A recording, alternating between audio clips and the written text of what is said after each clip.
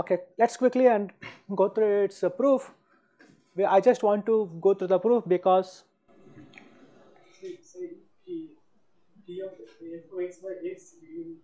if that is the constant, then, then it will be always 2 t of x equal to t of y.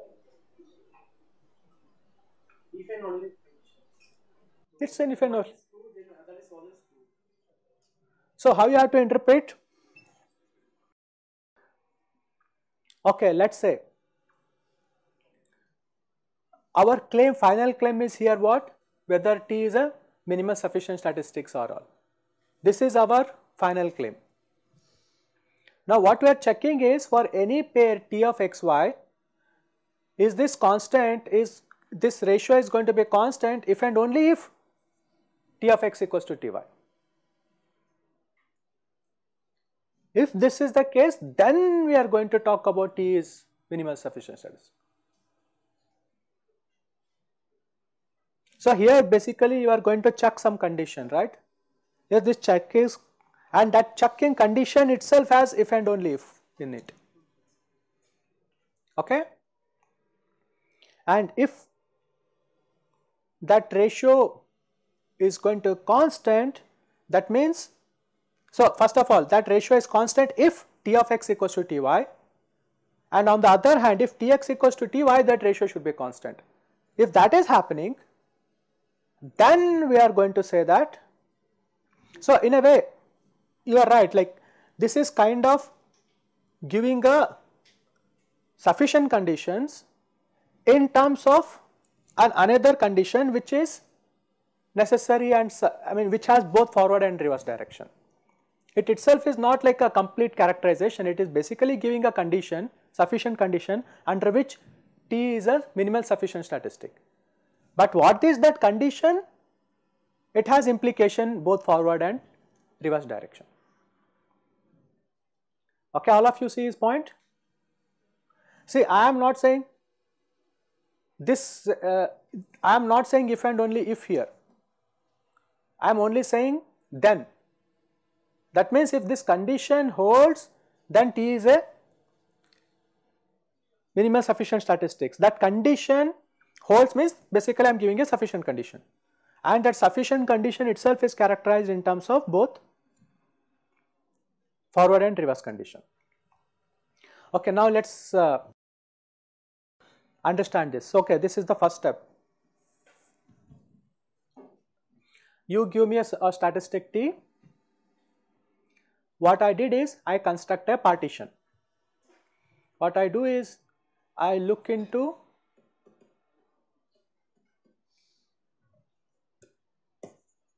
all t such that t of x equals to t for some x. Right, what I did is this was my space like uh, last time maybe let us take these are my 3. All these points here they mapped into let us say T2, all this mapped into T1 and let us call all these points here mapped into T3. So this is my image right. So T1, T2, T3 are my image of my space under statistic T. Let us call this as capital tau. And now partition. We know that this already defines a partition, right? You take one point T here, then I know, then I have T equals to set of all points such that T of x goes to T. For, so for example, you give me T1, then that set is all the points which are mapping to that T1. Now, I am going to, so in this case I have three ranges, right, 81, 82. What I am going to do is, I am going to select three points from each one of this. What are these three points? Let us call them x t1, x t2, x t3. Okay. So x t1 is coming from here, x t2 is coming from here and x t3 is coming from here. Suppose if I take x of T1, my claim is this is equals to T1. All of you agree with this? Because every point here, this xt1 is coming from this space, right? Every, this point, when I apply t, capital D, this has to give me. So these are, let's say these are, I am fixing these three points, let's take them to be three points. Now, what we will do is take any point x somewhere in this, one of this, I do not know what it is and I know that this point I can pair like with its uh, let us call this some point of uh, representative of each of this set. Suppose if x comes from xt1 then I am going to associate it with this xt1. If this x comes from this region I am going to associate it with xt2 like that. So for each x I can associate this with some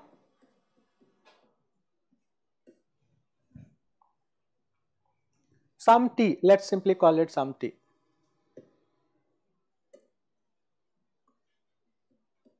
which is uh, one of these points, right. You give me any x, I am able to find what which uh, which group it belongs to and find out the representative point from there and I can associate like this. Can I do this? Right? Okay, now let us see. So, on this point, I know that t of x equals to t of xt. You agree?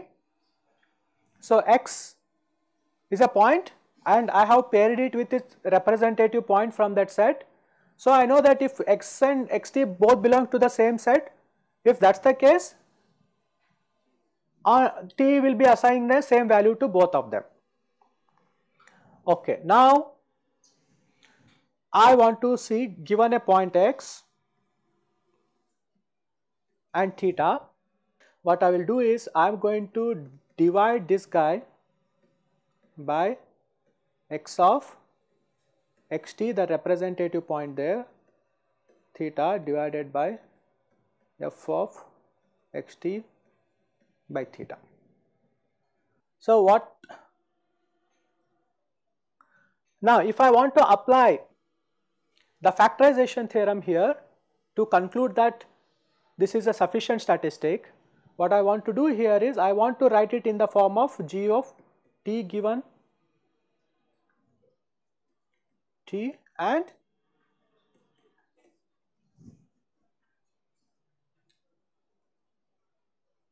H of theta like this okay. So now if this t is a sufficient statistics I need to write it like this. And now what I am going to assume? I am going to assume that this guy is a constant because t of x equals to txt. So, if that is the case can I say that this factor here is a constant in the sense it does not depend on theta. Can I take that as my h of x? If it does not depend on theta it better depend on x quantity right we have and this quantity here now it depends through t and now I can take it as g of t given theta. Now, if t of x equals to ty, what I have just argued is this ratio is a constant and I mean yeah this uh, sorry I am used the fact that if this t of x equals to ty this is a constant under that condition and I have just demonstrated that if that is the case t is a sufficient statistic. Okay, right now all I have done is I have established the fact that T is a sufficient statistic. Now let us use the other fact. What we will do is we will now assume that this is a constant. Okay, now I have partitioned in such a way that you give me a point x, you, you give me a point x and I came up with an another pair with it. For, I mean I came with another pair, another point to pair with this. Now I know that these two pair will be such that t of x equals to t of xt. Okay, now under this, this is this ratio is a constant if and only if, right? Now I have point x and y for which this is same. Because of this, I can now this is I am assuming that this is a constant. That is what exactly I am doing this. So I have written f of x theta here. I need to show that uh, this PDF factorizes into g and h function. So to get that I have divided and multiplied them by f of x t and now I am exploiting the fact that this ratio when I look into the pair x and x t that does not depend on theta that is when I use the fact and then it is okay.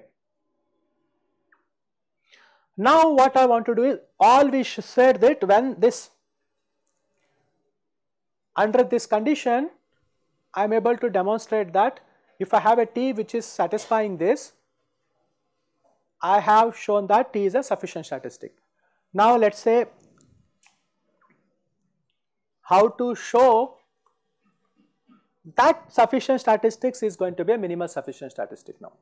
So now let us take another sufficient statistic T prime and we know that if T prime is a sufficient statistics f of x theta I should be able to find a h prime into g prime t given theta, right. Is this my factorization theorem correctly applied here?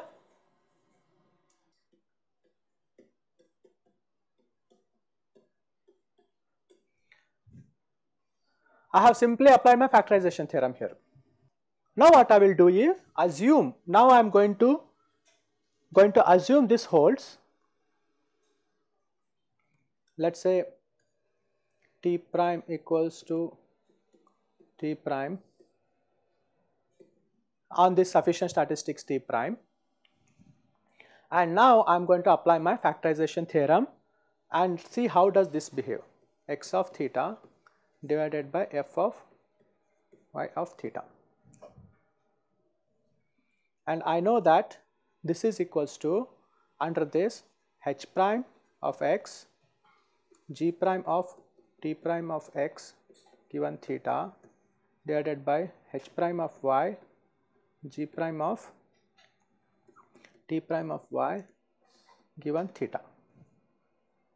But now this points x and y are such that t prime of x equals to t prime of y. So this quantities this quantity are the same g prime of t of x and g prime of t prime of y because both t prime of x and t prime of y are the same. So, knock off it. Now, it is now this ratio is h prime of x, h prime does not depend on theta and I have h prime of y which also does not depend on theta. Now, can I argue that this ratio does not depend on theta?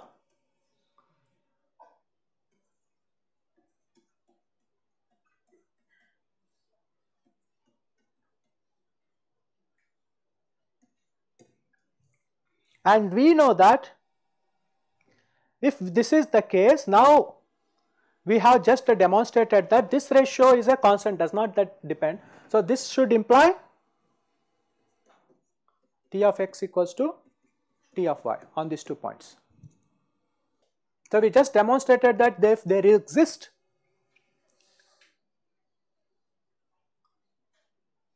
a sufficient, a sufficient statistic so, first of all we argued that if there is a statistics which satisfies this condition in the forward direction, uh, T is a sufficient statistic and I said that if there is another sufficient statistics for which this ratio holds, I just argued that this ratio does not depend on theta.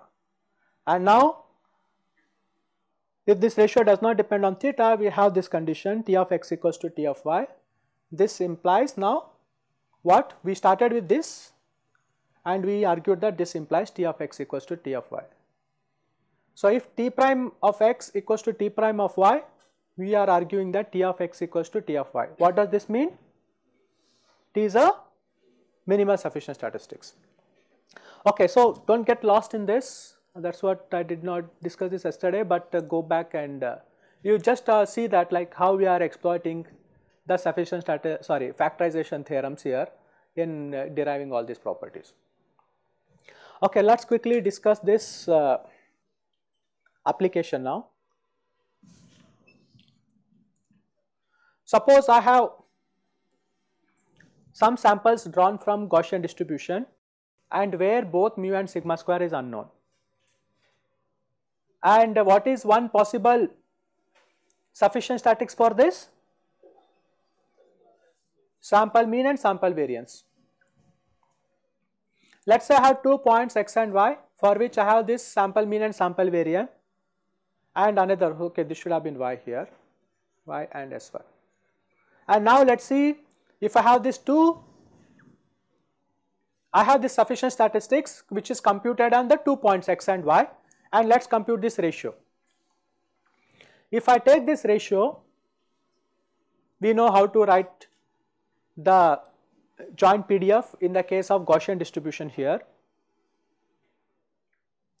You can write this expression and you will see that the only way this guy you can make it independent of mu and sigma square by setting x bar equals to y bar and sx square equals to sy square.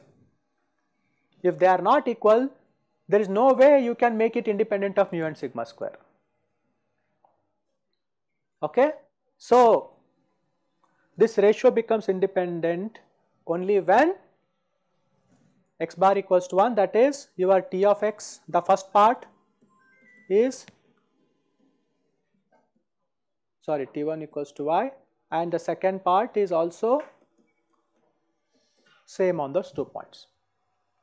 So, here T1 is your x bar and T2 your sample variance. Okay.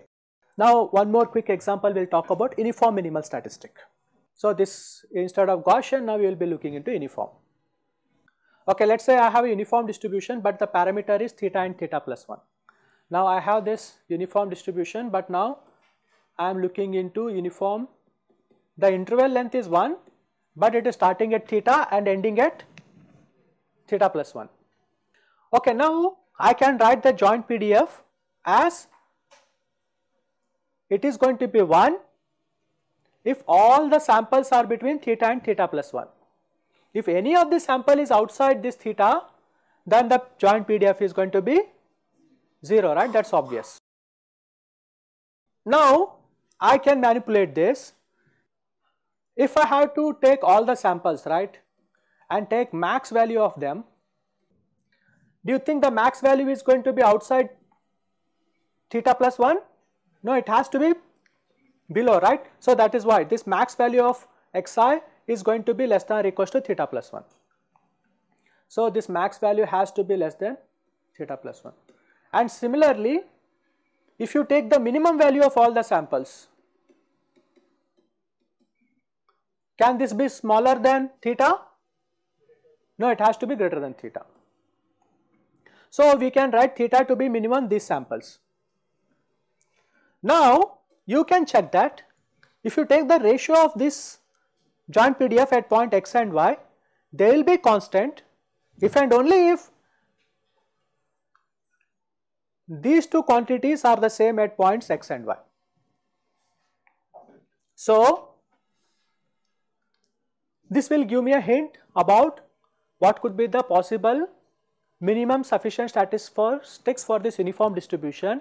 It says that if you take T of x to equals to minimum of this, maximum of that, that is what is minimum of xi we called it as first order statistic and max value as